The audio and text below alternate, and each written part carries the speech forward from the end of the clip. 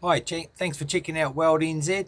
Here's the latest Synergic Pulse Mig. It's 225 amps and 230 volt single phase. It's the very latest digital pulse mig in the market. It's got double drive, large spool capacity, and it sounds like a nice pulse mig, easy stop starting. And you'll see here very clean welding. Anyway, if you're interested, let us know. Thanks very much for watching.